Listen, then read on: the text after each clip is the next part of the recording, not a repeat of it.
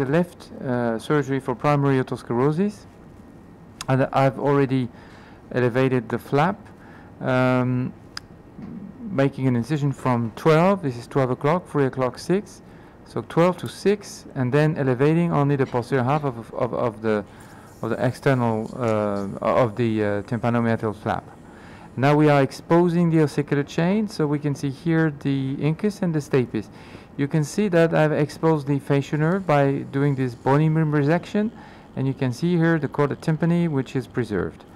Now the first step would be now to separate the incus from the stapes in order to check the ossicular chain mobility. We need to rule out any other problems such as malleus ankylosis. So I'm just elevating a little bit incus like this. You can see the joint here moving a little bit so it's fine to it's easy to find it and I'm going to stabilize the incus while I'm doing the the uh, inc joint separation with the joint knife. Quite a thick one by the way. It's a good idea to put the, to place the, the, the, the suction tube on top of the distal tip of the incus to, to uh, avoid any incus dislocation. Would be important to do that Right, so now I can check the ossicular chain mobility. I will check malleus incus by moving the malleus like this. I, I, need, I use a, a, small needle and then, so you see the malleus incus both mobile. And now from the top of the head of the stapes, I'm checking the up and down mobility which is fixed. So we have a completely fixed uh, stapes. I'm going to demonstrate the stapedotomy without laser here in this case and I'm now cutting the uh, stapes tendon quite a thick one. Vais changer de micro s'il vous plaît. Un autre.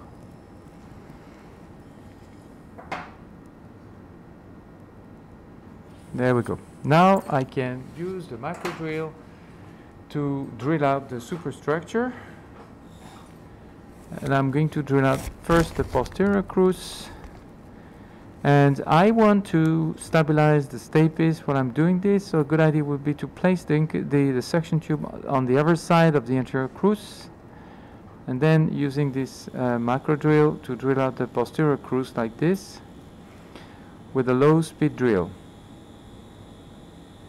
Donnez-moi une neuve là s'il vous plaît. So I'm going to change the burr. So you see I'm drilling out the posterior crus progressively without any pressure and uh, just uh, using uh, controlling the speed with the foot pedal it needs to be a low speed drill.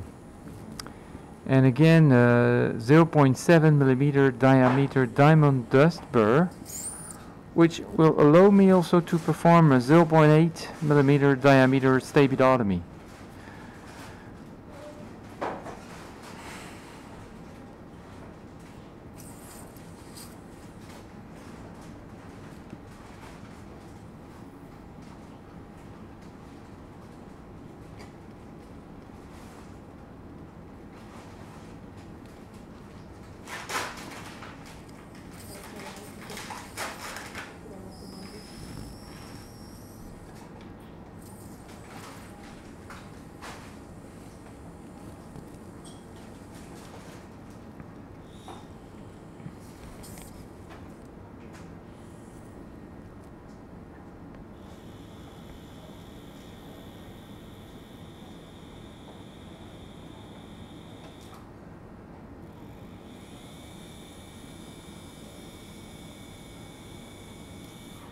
Now the posterior crus has been cut. So I'm going now to cut the anterior crus, which is more or less hidden like this.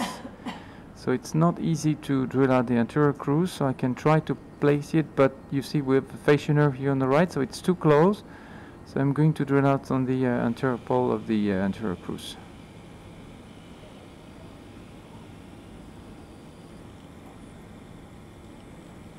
There we go. So I think I can dislocate a little bit the uh, superstructure because I've already cut the posterior crus and I will then be able to drill out the anterior crus more easily like this.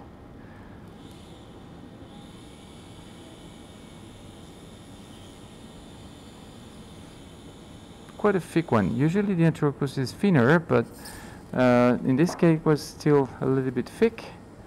So now I can remove the superstructure with a hook like this and now we have a nice exposure of the footplate.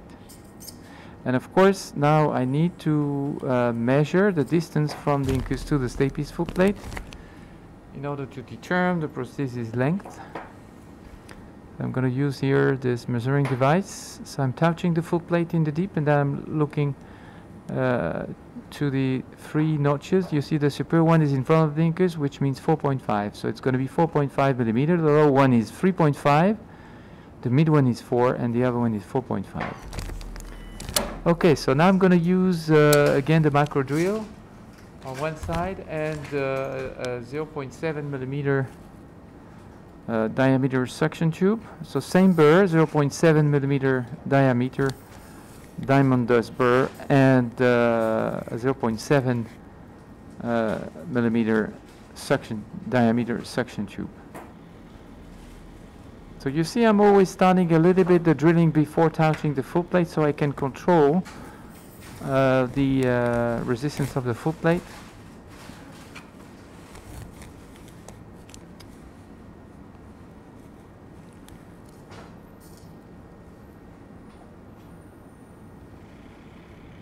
And I just leave the diamond dust doing the job by itself. It's quite a quite a resistant footplate.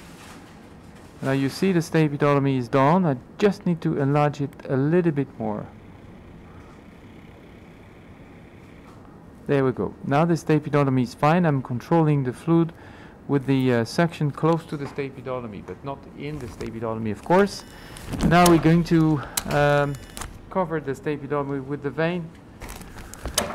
Then performing the vein graft interposition. This is the vein which I already pre-shaped before at the beginning of the operation and as usual this vein was taken from the dorsal face of the hand with the sticky side which means the adventitial side down to the plate, to the glass plate. Now we are facing the intima and I'm going to grab the vein uh, with the sucker 0.9 millimeter and I will now introduce the vein uh, with the sucker and stretching the vein with the needle. That's why I like to have both hands free to do this. So I'm going to grab it and to stretch it like this. So now still facing the intima of the vein. There we go.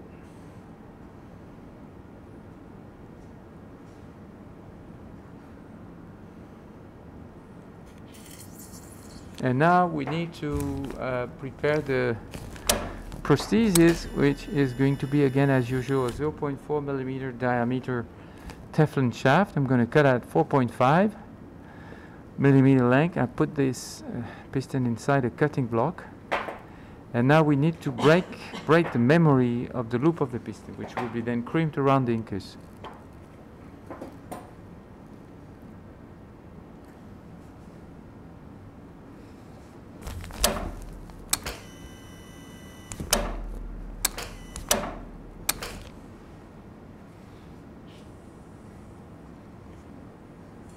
So I will first introduce the shaft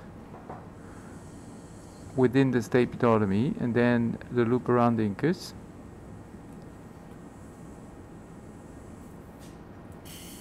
There we go.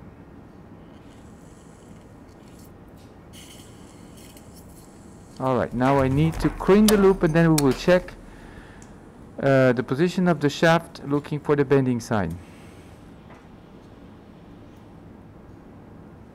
So I use two hooks to close the loop around the incus like this to ensure precise stability, but you can use a curved forceps of course.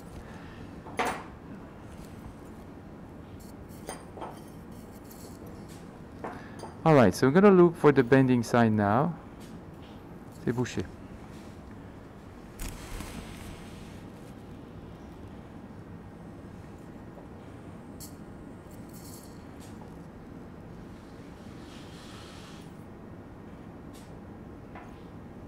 Pas bien, hein Même fois 9 là, s'il vous plaît. Okay, looking for the bending sign, you see if I move the shaft, the piston is bending, but not moving, which is a good proof to ensure that, uh, to be sure that the process is in good position. I mean the shaft, and you see the, again the bending sign, like this. and now the mobility from malleus, which is fine. So then it's easy, and uh, I, I will reposition the flap now and put a, a Merocel at the end, which, as, you, as usual, will be removed on the fifth day.